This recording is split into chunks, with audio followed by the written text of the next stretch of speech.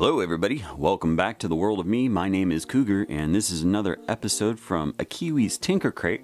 I've got my buddy Banjo over here, and uh, we've got another box in. There we go.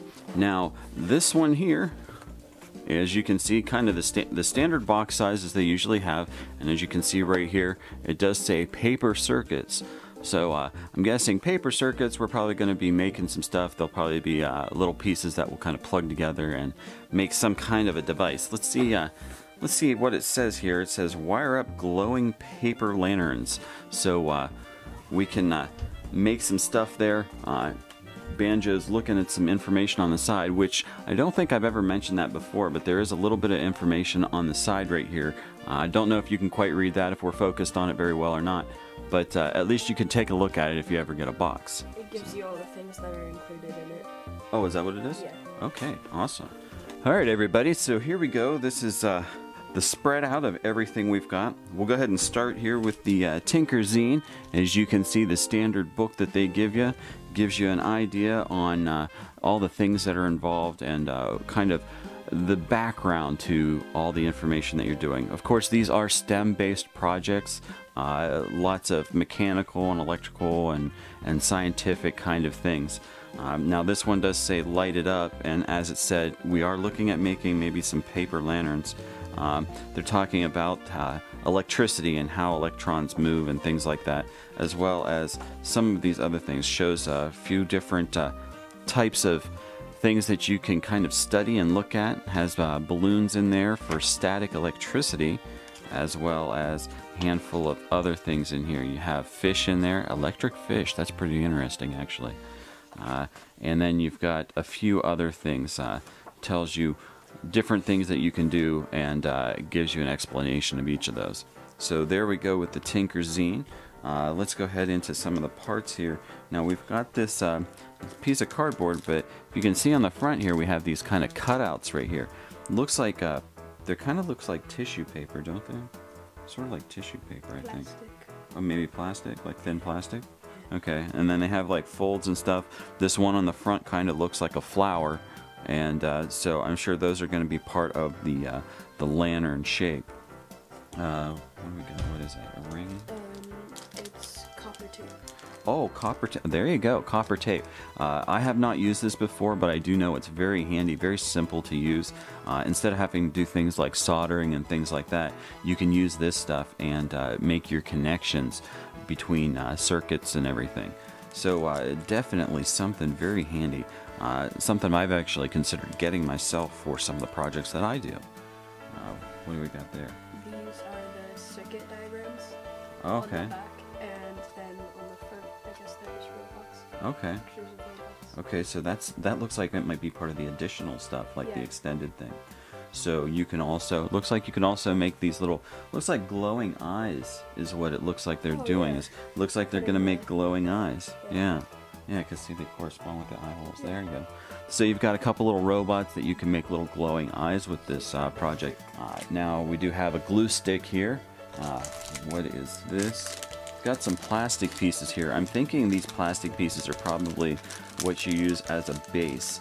And, uh, oh darn. Yeah, we've got one piece that's broken, so, uh, uh, you know, we may have to see about getting that uh, replaced uh, here later on. But uh, we'll see. We'll see if we can make it work. Maybe we can just get a little piece of tape to put on there and at least get everything together so that it works properly. Uh, I do know I have talked to the company before, so if you guys do have broken parts or missing parts, you can contact the company and they will make sure that they correct the issue.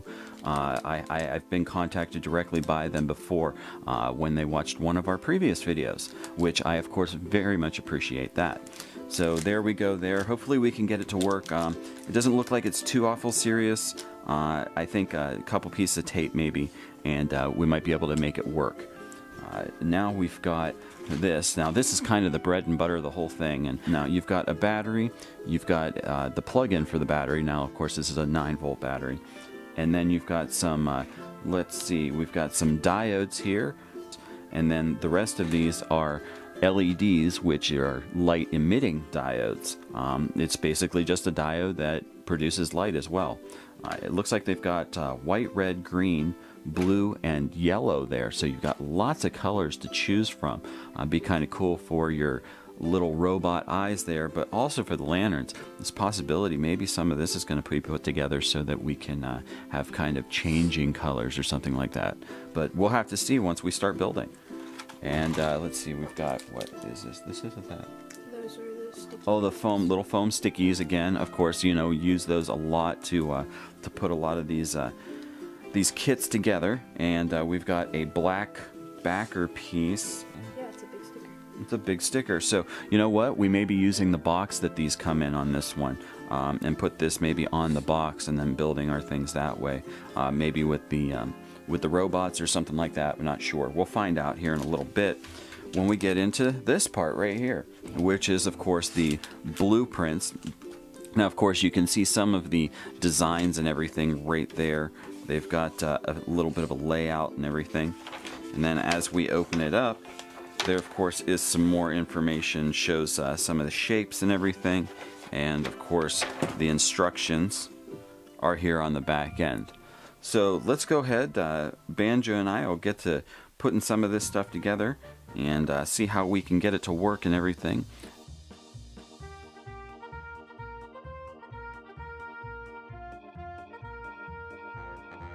Alright guys, well uh, here you go. Um, now there's still a little bit more that we can do with these.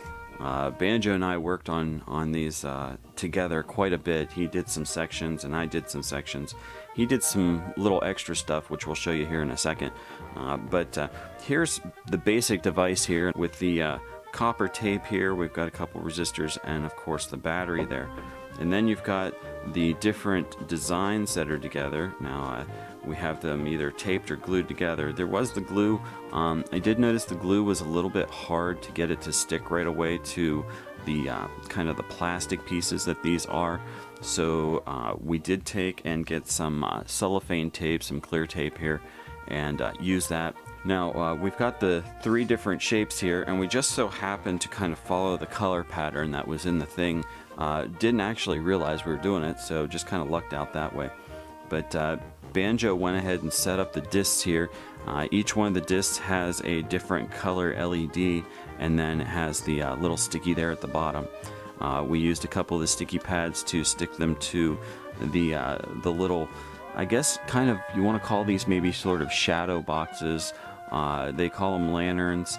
Uh, the reason I say shadow boxes I'll get into in just a second, but as you can see, the wires are across.